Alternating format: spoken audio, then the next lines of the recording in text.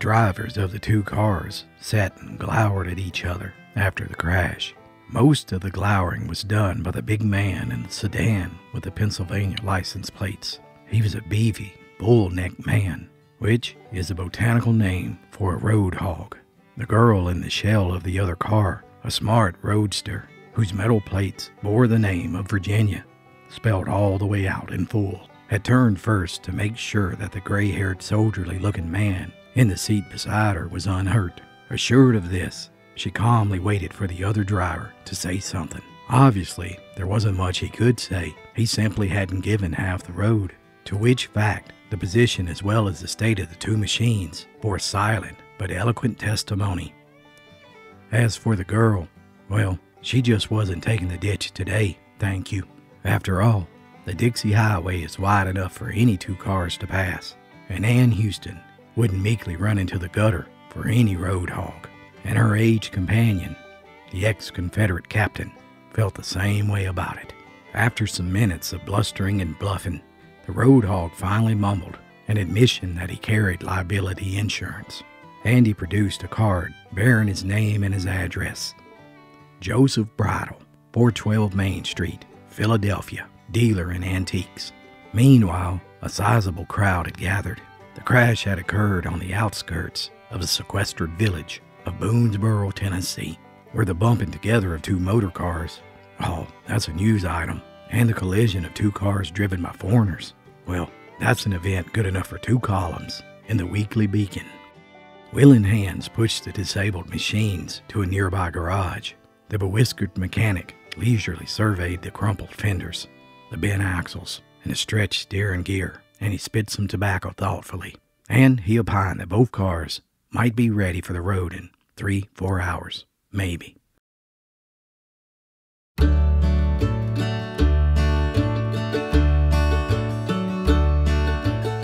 And that's how it happened that three strangers were left to find whatever of interest might be unearthed in this straggling hamlet nestled at the foot of the Appalachian Mountains. Not that it was a dull day in Boonesboro. Nay, verily, it was the high tide of activity and excitement. You see, court was in session. From the river bottoms to the shut in coves, the whole countryside, lawyers and litigants, jurors and witnesses, horse traders and produce buyers, everybody who had any business, and twice as many who had no business, had come to town. The streets were lined with rusty cars, wobbly buggies, and covered wagons. In the midst of the tide of noise and confusion and dust, like an island of shade and comparative calm, rose the quaint old courthouse. Its clock tower stood high above the columns, and it towered almost as high as the great maples that surrounded it. The grassy yard was thronged with folks who couldn't find a standing place inside of the sweltering courtroom. The crowd milled about restlessly. Little groups formed here and there, howdying and gossiping and wisecracking. Every once in a while, the crowd would be brought to attention by the voice of the sheriff issuing a summons from the second story window. Here, here, the judge wants Richard Forgy. Come to court. Ann Houston and her grandfather, Captain Stanford of Hillsville, Virginia, strolled into the courtyard, up the stone steps, and into the crowded lobby. The place reeked of stale tobacco juice and pipe smoke of yesteryear. Near the foot of the stairway was a bulletin board covered in legal notices, advertisements for bids on road construction, list of delinquent taxpayers, notices of public sales, and speaking dates of political aspirants. One notice, scrawled in bold through unpracticed hand, was attracting considerable attention among the hangers on. Presently, Anne and the captain edged close enough that the girl read the notice aloud. Whereas on the fifth day of October 1928, one Elroy Kimry and his wife Samantha did convey, bargain and sale to the undersigned trustee the hereinafter described property for the payment of $45. And whereas Elroy Kimry and his wife has defaulted on the payment of the said note, now therefore, by virtue of the authority invested in me as trustee, I will expose an offer for sale at high noon in front of the courthouse in Boonesboro on the 16th day of June, 1930, at public outcry for the high dollar, the aforementioned property, to wit, two bedstands, one stove and vessels, two tables, one child's cradle, five plain chairs, one rocking chair, one cupboard, and one chest of drawers. Signed, Alex Hatsford, trustee. Why, Granddad, exclaimed the girl jokingly. How exciting! The sale is today, June 16th, and it's only a few minutes away until high noon. Let's go out and see the proceedings. I've never attended a public sale before. Well, I did, the captain replied.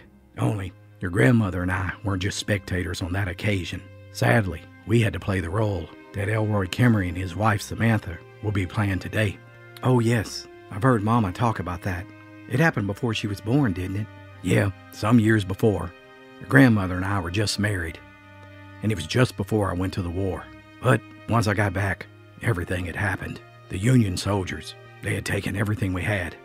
All our horses were stolen, our barn had been burned, and our money was worthless. I did the best I could to hold things together. Oh, but it couldn't be done.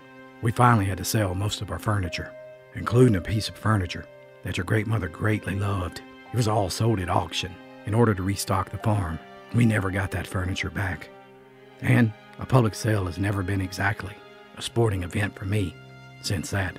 I know, Granddad. Mother used to tell me of the old, lovely things that she should have inherited, but she didn't. Some of them had come from England, hadn't they?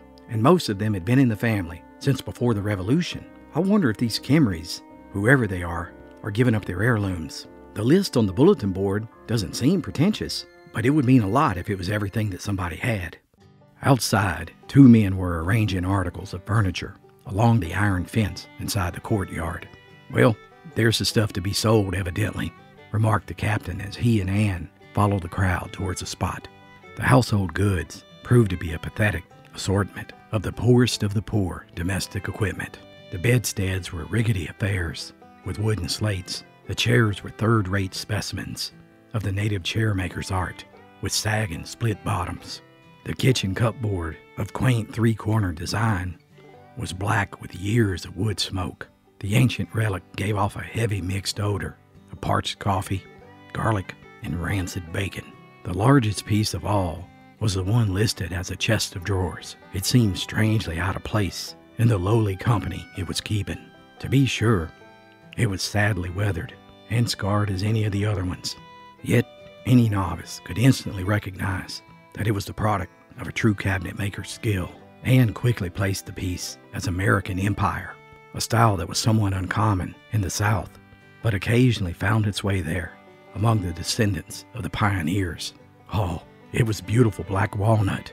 It was massive, with paneled ends, and rested upon heavy, bracketed feet. Its only ornamentation was an oval carved in each panel and delicate beadwork from the top to the bottom of otherwise plain corner post. The brass pulls were black with tarnish.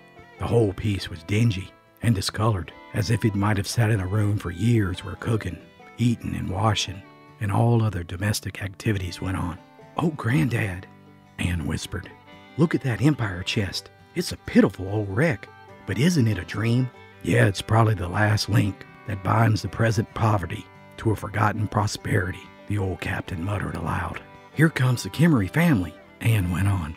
Their poor home has been stripped to the floors and the walls. Everything they've inherited or acquired to make life a little bit easier is piled up and is going to be sold to satisfy a wretched little debt, most likely to some landlord for the rent of a worn out hillside field. Yeah, I know the feeling, the gray haired warrior answered softly.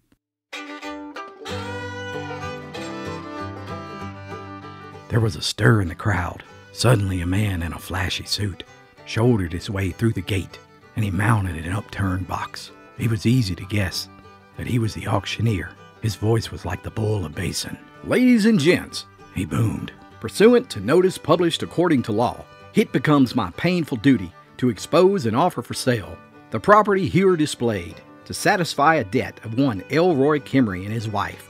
The terms of the sale is strictly cash in hand, and everything goes for the high dollar. The spectators crowded around the improvised auction block. Loafers from the street swelled the throng. Court had adjourned for the day, and the yard was filled with onlookers. Step right this way, ladies and gents, called the auctioneer. Here's your chance to provide your home with some good, plain, substantial furniture for pert near nigh nothing. As the feller says, some goes up and some goes down, but it all goes in a lifetime.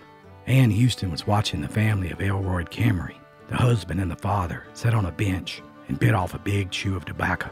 His wife, Samantha, vigorously chewed on her snuff stick. The children, too numerous to count, were scattered all around, ranging from a grown boy to a round eyed young'un who sat on the mother's lap. Now the auctioneer now focused attention on one of the bedsteads. Here we are, ladies and gents. Do you see this nice, well made bedstead? Nothing fancy or fine, but just as stout and sturdy as a new one and it's going for whatever you say. Now, I know there's some young folks in this crowd that's aiming to get spliced real soon, and here's your chance to make a start on furnishing your home now. Step right up and look it over. The hubbub of onlookers greeted this pleasantry. A gawky man who had been eyeing the furniture from afar now edged closer. Another bidder ran through the crowd. Everybody knew that Daly McClacken had been talking to Arlene McDonald for some months and that a wedding was in the offing. How much am I offered for this bedstead? roared the auctioneer. Talk up, folks. This is your lucky day. Two dollars and a half. The young Daly ventured timidly. All shucks, Daly. The auctioneer protested in mock indignation. What you want to waste my time for? Now make me a real offer. I know some of you fellas wants a bedstead. Three dollars. A middle-aged farmer spoke up, and the bidding began all over again. Three and a half. Daly came back, a bit louder this time. Four dollars. The farmer countered after a pause. Sakes alive, folks. The auctioneer called out sarcastically. Here's a couple fellas that wants me to just give away a fine bedstead for a wedding present. Four and a half, Daly piped boldly. His competitor hung back, and after a moment, he walked away. Sold, the auctioneer shouted to Daly McClacken, who carried it to the side. The second bedstead, the chairs, and the rusty stove were quickly disposed of. The cupboard went to the farmer for 50 cents. The child's cradle was next to be brought forward. It was a rough box, about four feet by two and a half, and it was mounted on some homemade rockers. Again, the auctioneer started. Now we're getting to the good stuff, folks. Where's Daly McClacken at? Oh, there he is under that tree guarding his new bedstead. Come back here, son. Here's the rest of your bedroom suite. Daly came forward, greeted with light-hearted laughs. And, in a moment, he was declared the successful bidder against the farmer for the cradle. He calmly took it away and placed it beside the bedstead. Samantha's dull eyes followed the cradle until it disappeared from view.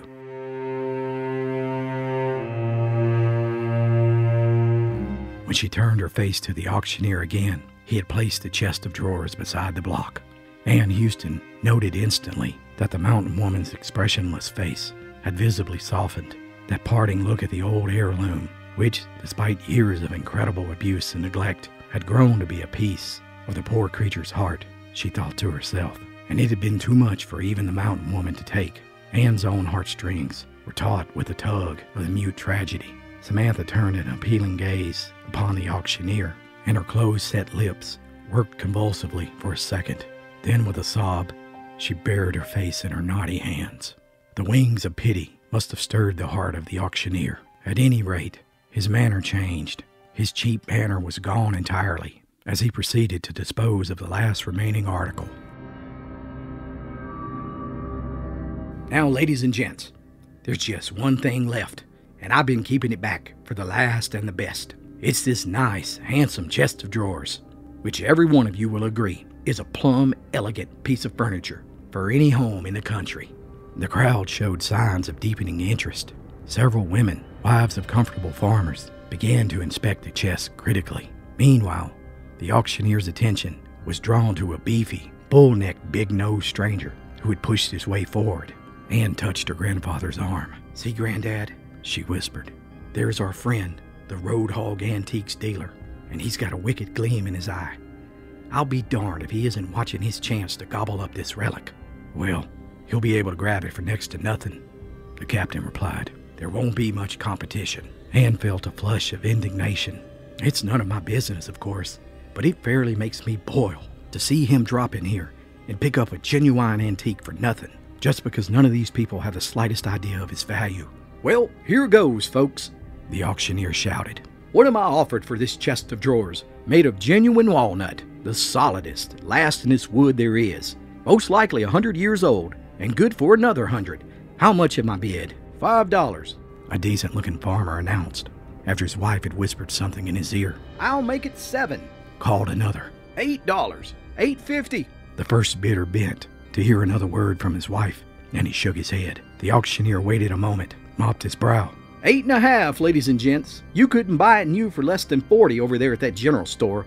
Why, folks, are you going to let this unheard of bargain go for a handful of mere chicken feed? Come on now, good people, and look at it. The Canny Hill folks looked, but nobody raised the bid. The auctioneer kept up the haggling, on and on, but the bidding was over. 850. Do I hear nine? Somebody give me nine. 850 going once. 850 twice. Nine dollars. A new voice interposed. The voice had a brisk, foreign quality that contrasted sharply with the flat drawl of the natives. The mountaineers started craning their necks to see the stranger. And, for the second time that day, Ann Houston frowned into the face of Joseph Bridle, a Philadelphia, dealer in antiques. Now that's more like it, folks. The auctioneer exclaimed. Nine dollars I'm offered by the gentleman that knows a good piece of furniture when he sees it. Now who will make it ten? Nobody spoke, though people jostled with one another for a better look. The auctioneer haggled a little more, and he finally began. Nine dollars once. Nine dollars twice. Nine. Suddenly, a woman's voice spoke, quietly but clearly. Twenty dollars. The words thrilled the crowd like an electric shock. Even the hard boiled auctioneer gasped, but only for a fraction of a second. Now that's business, ladies and gents. There's some folks here that knows furniture. The lady bids $20. What do you say, good people? $50. Joseph Bridle's face was red with annoyance and determination as he spat out the words viciously $100. Ann Houston called as quietly as before. Elroy Kimmerly had stopped chewing. He stood transfixed, with the tobacco quid bulging out of his cheek like a tumor. His wife lifted her eyes, red with weeping, and she stared in amazement. $150. The antiques dealer shot back angrily. And that's twice what the blame reproduction is worth. $200 came Ann's even response. The onlookers were dumbfounded, but Joseph Bridle, his face was like a thundercloud, and he shrugged his shoulders, and he slid away as if he was leaving the scene. $200. The auctioneer chanted. 200 once. 200 twice. The disgruntled dealer in antiques, however, he wasn't ready to give up a genuine American empire. He turned on his heel and he snapped one final offer $225. and he almost shook his fist in Ann's face. But Ann was done. Truth be told, she hadn't really set out to outbid him on the piece. It had only been her resolve to foil his little game and to make him pay a fair price for what she knew he so greedily coveted. She felt a glow of elation. She had made him pay. 225. Roared the auctioneer. 225 once, twice, three times going, going. $250. A new voice broke in, and it was a man's voice. The auctioneer whistled in undisguised amazement this time. Joseph Bridle looked like he had been hit with a brick. Anne couldn't believe her ears. Was that really Granddad's voice? Then she saw he had slipped away, and he was standing beside the chest of drawers. His hands were toying with one of the blackened brass pulls. She hadn't been mistaken. The auctioneer's closing formula was droning in her ears. 250 once, twice, three times, going, going, and gone, gone, ladies and gentlemen. To the gentleman here, the sale is now closed. The country folks began to disperse, but their tongues were wagging merrily. Have you ever seen such bidding before? Never in my life. What in thunder do them crazy nuts want with that old thingamajig anyhow? Oh, them city folks, they just go plumb loony over old things just because they're old. Why, a fella from Knoxville gave me $10 once for a rusty old candle mold, and we've been using it as a coal lamp for the last 30 year. Well, anyway, it sure was a lucky day for Elroy and Samantha. When Anne reached her grandfather's side, he was counting off a roll of bills into the receptive palm of the auctioneer, who in turn was scrawling the word paid across Elroy's debt. And then he delivered to Elroy the balance of 200 and odd dollars in cash. Elroy had resumed chewing, and he stuck the roll in his pocket as nonchalantly as if such transactions were a daily occurrence. Samantha's face was a study in gray. Anne could hold it no longer. Why, Granddad, what on earth? Didn't you see my game? I knew that the great hog was simply just bound to have that chest, and I made up my mind he was just going to pay for it. Oh, yes, I saw that. The old soldier smiled. But all at once, I got interested in that chest, and I decided I'd have it myself. The crowd had now gone, except for Elroy and Samantha and the youngest child, who clung tight to the mother. The look of dazed wonder in the mountain woman's lusterless eyes broke through the Virginia girl's resolve. Impulsively, she threw her arm around Samantha's shoulder. Oh dear, I know it was cruel to hurt you, but we were only trying to see that you got what it was worth. The wife gave her a puzzled look. Then a light of understanding broke, and she said with a smile, Law, Missy, you mean that old chest of drawers? Why, bless your soul, honey. I wouldn't have hauled it home even if it wouldn't have sold. But, my dear, you cried when they put it up to be sold. No, no, Missy. That wasn't when I was blubbering about. But when they put my cradle up for sale, I had to cry just a little bit. As ridiculous as it was, I've rocked 11 youngins in that cradle, and it don't look like I'll never have no more. But doesn't it hurt you to give up this fine old chest of drawers that must have been in your family for generations? Law, no, Missy. I'm proud to get rid of it. I like purty things myself, not worn out things like that. Well, I'm so glad for you, Anne said with a mist of joyous tears in her eyes. But, by the way, could you tell us the history of the old chest? It must have some story connected to it. No, ma'am. It ain't got much history. There was this young captain up in Virginia. I don't remember his name, but right after the Civil War, he had to sell all his furnishments. My pa won it at auction, and then he moved to Tennessee and he brought it along, and we couldn't get rid of it. Anne began to see the light. Why, Granddad, you mean you recognized? Come on, dear, we must be going. He answered a bit brusquely to conceal the tremor in his voice, and as they moved away, he confided softly.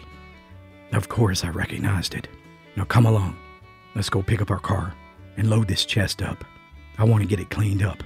I can't wait to see the look on her face when I give it back to your grandma.